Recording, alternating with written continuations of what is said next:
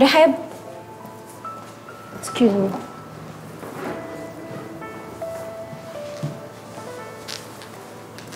أموري حضرتك قولي لي يا رحاب انت بقالك قد إيه شغالة هنا يعني سنة ونص تقريبا هو في حاجة؟ في ان بقالك سنة ونص بتسرقيني أنا؟ أنا أسرق؟ حضرتك إزاي تقولي كلام زي ده؟ أنا ما أعملش كده أبدا ولما تاخدي حاجات من المحل وتبيعيها لحسابك يبقى اسمه إيه؟ أنا ما خدتش حاجة والله العظيم. إذا كنت أنا شفتك بنفسي. أنا شايفاكي امبارح بتدي make up لبنت جاتلك حصل بقى ولا ما حصلش؟ حصل. بس حضرتك فاهمة غلط. اللي جت دي تبقى أختي. آية. آية. وأختك. ده أنتوا عصابة بقى. افهميني حضرتك. أنا أخدت حاجات وبلغت ال supervisor إنه يخصمها من مرتبي آخر الشهر.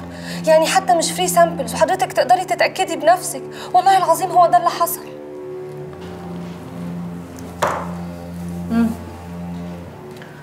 طب قولي لي هي أختك اسمها إيه؟ إيه إيه أختك دي بتشتغل إيه يعني يخليها مهتمة ب make up غالي قوي كده؟ لا هي لسه في الجامعة. بس يعني بتحب تهتم بشكلها وسط زمايلها وكده. أصلها طول عمرها دلوعة البيت يعني. طب تمام. روحي انت كملي شغلك. وما تزعليش من اللي أنا قلته لك هم؟ حصل خير. وأنا برضو كان المفروض أبلغ حضرتك. عموما لو احتجتي أي حاجة بعد كده انت أو آية بقي قولي لي هم؟ شوفي شغلك بقى. حاضر.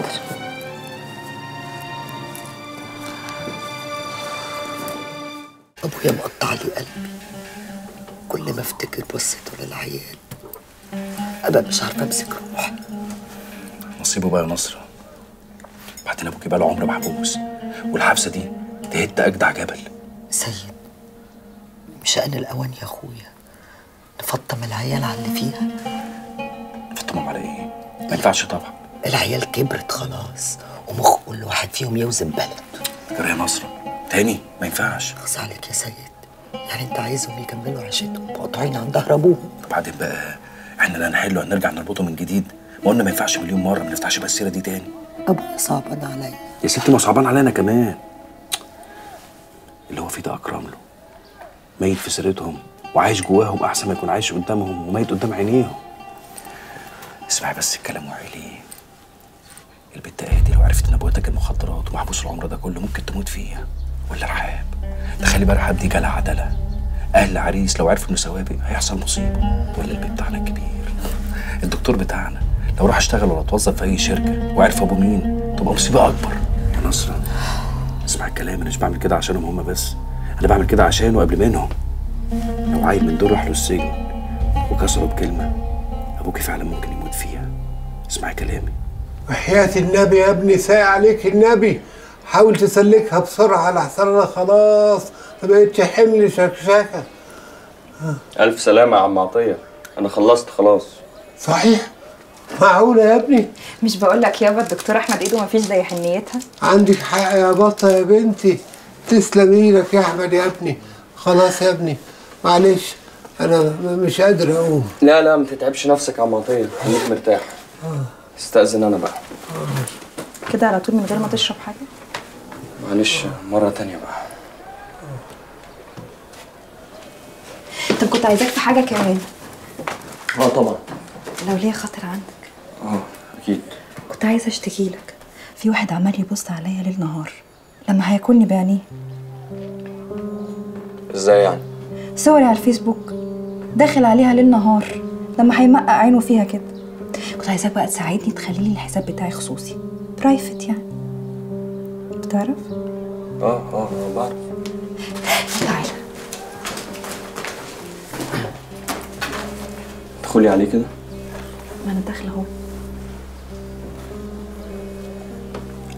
هدخل أنا.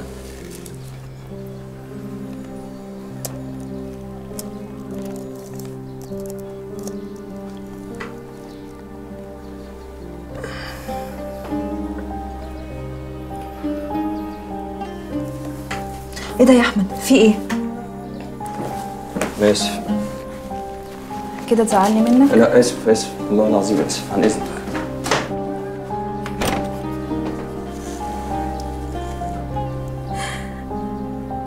شفت دي؟ أوبا. فين الصورة الجامدة دي؟ حفلة مزيكا في المعادي. كان يوم تحفة. المطعم حلو قوي أصلا. في مكان كده الباند بيلعب مساء النور. أهلا وسهلا إيه يا الأخبار؟ أستاذ شريف. عامل إيه؟ الحمد لله تمام. أخبارك إيه؟ تمام؟ الحمد لله. آه آه، ندى؟ شريف. آه آية صاحبتي في الجامعة. أوكي. إياد. هاي إزيك يا إيه؟ إياد ده بقى اجدع وأسرع واحد في الشلة بتاعت زمان. لا لا لا لا الصياعة دي زمان يا معلم. الحمد لله كده أنا تمام ومفيش صياعة والأستاذة مظبطة كل حاجة أهي. فعلا؟ أيوه طبعا. صدقوش ده بيكذب. أنا؟ آه يا نونا آه. لا لا شكل الحكاية كبيرة قوي قوي قوي قوي عامة اسيبك براحتك وخليني أشوفك. إن شاء الله. سعيدة أنا أسف باي. باي. يعني بيت في بيتكو وسبحت زرت أبوك ولفيت قضيت مشاويرك وفي الآخر افتكرت أمي. أمك. صدقني نسيت اشقر على أمك. أروح اشقر على أمك وأجي. رايح فين يا سيد؟ إيه يا بنت الغباوة دي. ما ترحمني وترحم أمي بقى يا سيد. ما تظبطي يا بنت. ظبط يا ابن جدال. بس مش عارفة أعمل إيه ولا عارفة آخرتها إيه. آخرتها عسل إن شاء الله. بس انت اهدي كده وافردي وشك عشان الدنيا تمشي. هعمل إيه؟ ما انت اللي واخد على السفر. بتفك مني زي الهوا. يا بنت هفك أروح فين؟ ما خلاص رجعت. قاعد لك قاعد مش متحرك. قاعد في قلبي. قاعد في قلبي يا سيدي الناس. بس مش عارفة. في حاجة في قلبي كده عمالة تغز وتقول لي يا بنت ما تفرحيش. لحسن تبطش على بوزك. رجعنا تاني لأم بوز. يا بنت ما بتعرفيش تفرحي. بعدين خلاص إحنا زهقنا من حريم الشغل ولو حتى ما زهقتش. برضه راضية. كفاية إن أنا عايشة في ضلك يا بنت انت فضلي من ساعة ما عيني وقعت عليكي مكتوب على اسمك بعدين بوخارست لو عيل ولا عويل وكلمته بتمشي على الكل. يعني نهدى كده وخمسه عقل عشان الدنيا تمشي عشان تفرحي قريب. بجد يا سيد؟ يا دي النيلة. اهو مش هنطق يا سيد ده انت الحاجة اللي بتفرحني. انت اللي مالي عليا دنيتي. هو ده الكلام الحلو. في غباوة تاني؟ لا. مفيش بقى حتتين جاتوا مع الشاي ده. جاتوا بس. اظبط بقى ماشي. ماشي بالسلامة انت اخويا. ها؟ إيه اللي حصل؟ ده عيل من طولون هو اللي باع الفرش المعوض وخموا فيه كمان فحب يصرفه. باعوا للزبون اياه كمان كروديا رايح يبيع في قهوة السلطان.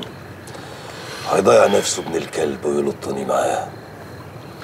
كل ده عشان خاطر كيفه النجس. يلط مين يا معلم؟ انت مقامك كبير قوي انت في حتة تانية. اسمع طيب. نسمع. أنا مش عايز عينك تغفل عنه. تجيب لي قطر اول بأول. حصل. أنا مش عايزه يقرب من المخدرات تاني. قفل عليه أي سكة. أنا أخليه شمش مع النفس ما يلاقوش هو أنت لسه هنا؟ مش كفاية بقى كلام في الشغل ولا إيه؟ هو هيبقى جوه وبره؟ طبعا معلمي تأمرش بقى حاجة. لا. بالسلامه أنت يا طيب. اتفضل يا ستي. الله. سلم إيدك يا سلطان. تعيش وتجيب يا أخويا. إيه رأيك بقى؟ هتاكل من رقبتي حتة. لا اوعي. لأن هي لو كانت من رقبتك. يفضل السلطان ياكله بقى بالراحه يا معلم بالراحة. الله دقنك مشوكاني دقني طب عليا النعمة إن أنا واخد دقني الصبح من عشان خاطرك. طب ما تاخدها تاني. لا تاني. تاني تلتين ده انت مولع اهو يا معلم. أمال إيه؟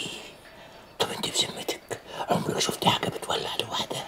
مش لازم كل حاجة تولع حاجة تولع.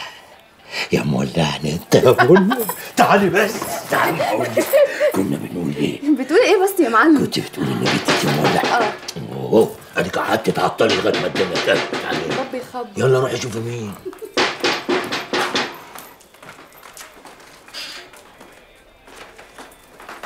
السلام عليكم. عاش من شافك يا سي صلاح. ألف مبروك يا ست العرايس.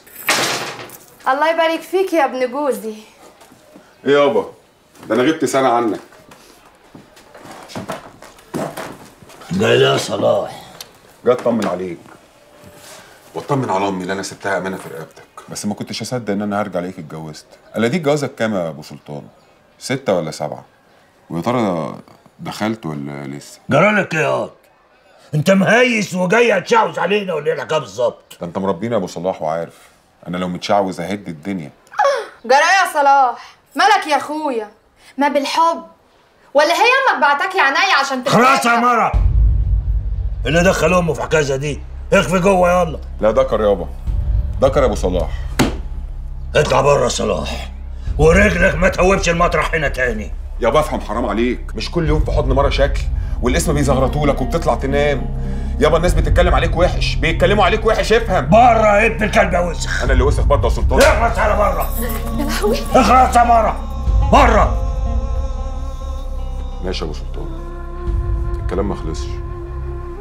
بس اعتبره حصل.